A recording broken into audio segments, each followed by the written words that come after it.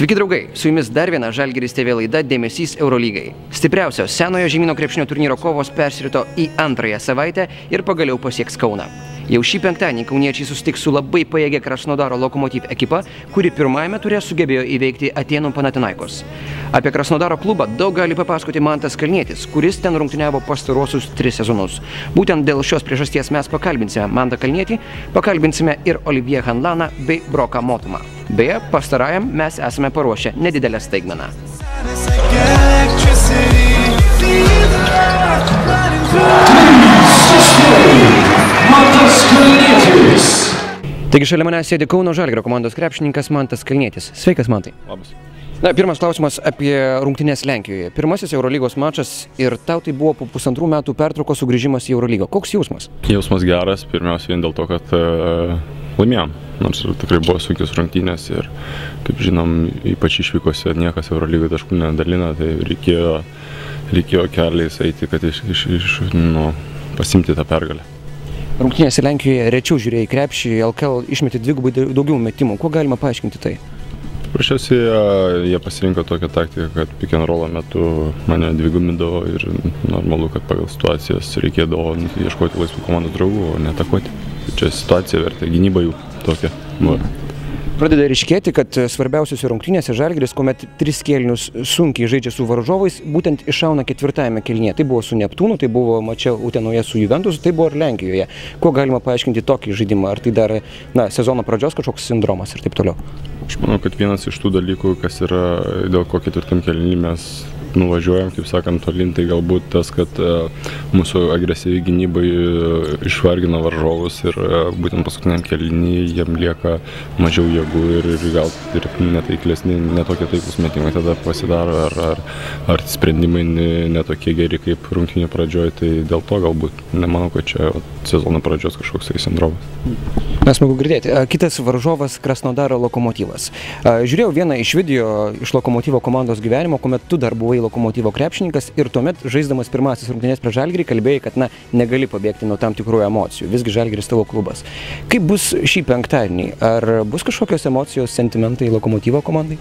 Nu, matot, ne, nemanau, kad tikrai bus dėl to, kad, e, aišku, smagu, smagu sutikti žmonės, su kuriais žaidžiau, su kuriais, su kuriais dirbau ir, ir gyvenau, bet, bet e, kaip pasakyti, daug, daug komandų ir daug žaidėjų tu, tu pažįsti ir, ir turi gerus santykius su jais, tai pabendrauji prieš, bet per rungtynės to, to, to kažkokio kažkokių sentimentų nebelieka. Tai nemanau, kad ir ir bus paprastos rungtynės, kurias, kurias tenksimės laimėti ir, ir bus tokia Dar, dar vienos svarbios rungtynės, kurias reikia laimėti, bet nieko daugiau. Tiesiog krepšininko dona ir tiek. Taip. Ar dar palaikai ryšius su šios komandos žaidėjais? Galbūt dar su kažkuo bendrauji? Teko prieš rungtynės pakalbėti? E, Iš, šito, šitos jau komandos būtent, nes vis tiek daug, daug yra pasikeitę, kadangi vis tiek daugiausiai bendraudavom su legionieriais tarpusavį, kas būdavom, aišku, yra ir, ru- ir pačių rusų, ir, ir su daktarais, ir su keliais žaidėjais susirašau, nors ypatingai dažnai to nebūna, bet, bet, bet vis dėlto daugiau jau žaidėjų, su kuriais pa- palaikydavau artimesnį ryšį, tai e, išsivaikščioju per kitas komandas. Na vis tiek kaip e, esamas Krasnodaro lokomotyv komandos specialistas, gal gali išskirti stipresias šios ekipos žaidimo pusės, ko reikėtų saugotis mačia penktadienį? Vėlgi dabar dar sunku pasakyti dėl to, kad e, pasikeitė treneris, pasikeitė daug pagrindinių žaidėjų, kurie daro didelį pagrindinį rezultatą. Ir, tai, tai kol kas sunku pamatyti, pas, pasakyti ir video dar nežiūrėjom, bet, bet vis dėlto manau, kad e, jie turi gerus, gerus žaidėjus ir Delainį, ir Draperį, kurie palaiko visą tempą. Ir, ir dažniausiai toj komandai dabar, nors Randolfas, kiek žinau, dar liktais traumuotas, bet irgi turi panašaus tipo e, kitą centrą Singletoną, kuris žaidžia ant tritaškio, tai, tai jie išsiskiria to, kad e, tikrai yra sudėtinga žaisti gynyboje gynybinės sistemas prie žaidėjo centrą, kuris meta tritaškius. Tai va, manau, kad ties šituo reikia stipriai koncentruotis. Between us. This energy's inside us like electricity. Feel the love running through like electricity. Feel the love. Kalbiname Kauno Žalgirio komandos krepšininką Olivier Hanlaną. Hello, Olivier. How you doing? Fine, and you? I'm good. I'm good. Uh, you finally had the chance to taste what it's like to play in the EuroLeague game. What's your impression on that? Uh, definitely, you know, the EuroLeague competition is uh, really good. Uh, we have a really good group this year, and uh, I was glad that we were able to win our first EuroLeague game on the road. And as this question Mantas Kalnietis, now I'm gonna ask uh, the same question you. It seems that Žalgiris became the fourth quarter team. Like uh, we had some few tough games in which uh, during the first three quarters we struggled, and then in the fourth quarter was everything solved. How can this be explained? Uh, you know, we definitely have to do a better job in terms of just starting off the game uh, a little, you know, quicker and more and more aggressive. Uh, obviously, like you said, in these few last games where we start off slow and after that we pick it up in the second half and we end up pretty strong. But you know, whenever we play, whenever we're gonna play against you know the top EuroLeague competition, uh, that might not be enough. So uh, definitely just you know, being one of our main focuses during practice, just, you know, starting off practice good, you know, with energy and kind of leading up to the game. We're starting fast and instead of, you know, slow and after that catching up. Just like I said, you know, whenever we play against, you know, the top teams in our group, you know, that's not going to work. Uh, you made two important reads in the game uh, against Pol- Polish team. Uh, can you see that you feel comfortable enough to take responsibility being a leader in Žalgiris team this season? Uh, you know, we have we have a lot of good leaders, you know, and Mantas and Palis, and you know, and a few guys. But uh, you know, I just need to keep on getting comfortable with you know the whole the whole Žalgiris team, and just you know keep on improving every time I go out there. Yeah.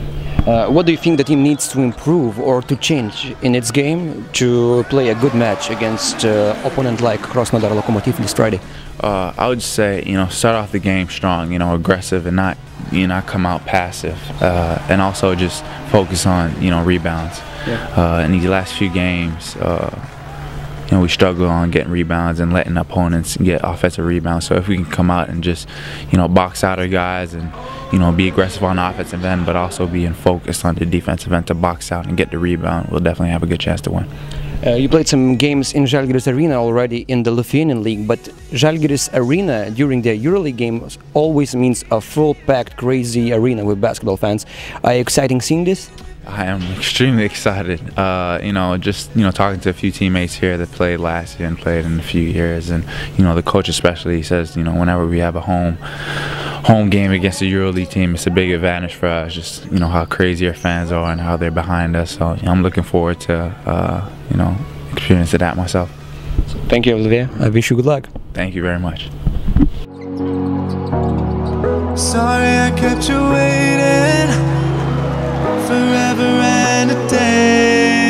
Dabar pakalbėsime Kauno Žalgirio komandos krepšininką Broką Motumą. Hello, Brock. How you doing? Fine, you? Good, thank you. But first of all, Brock, let's jump back on the first EuroLeague game in Poland.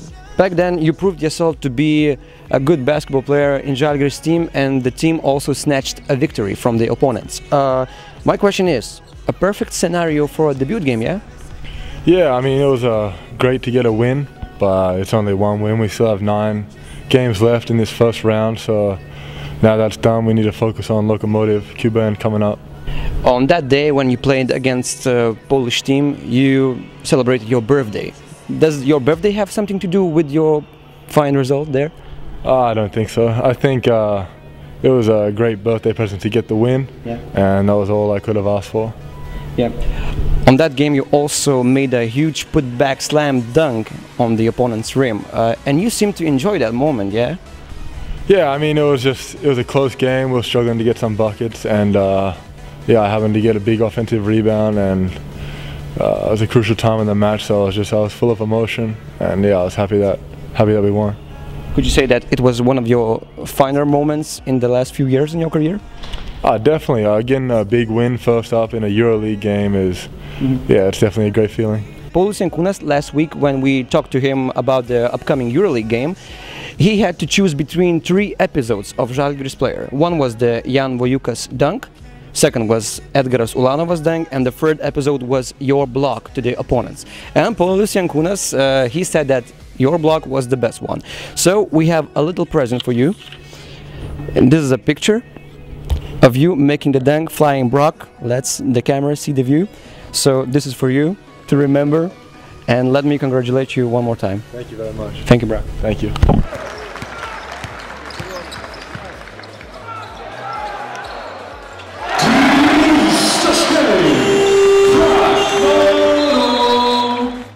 Skubėkite įsigyti bilietus į jau šį penktadienį vyksiančią dvikovą tarp Kauno Žalgirio ir Krasnodaro Lokomotiv Kuban ekipų.